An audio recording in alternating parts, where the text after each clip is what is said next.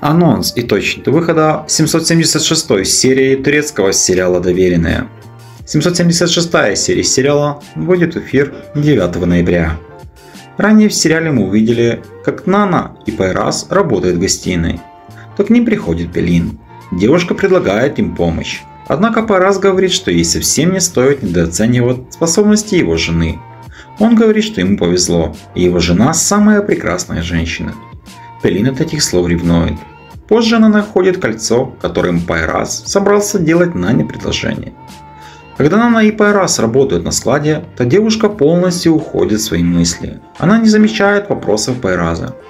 Подает ему не тот инструмент, который он просит. Пайрас понимает, что с Наной что-то не так. Он повышает голос, чтобы привлечь ее внимание.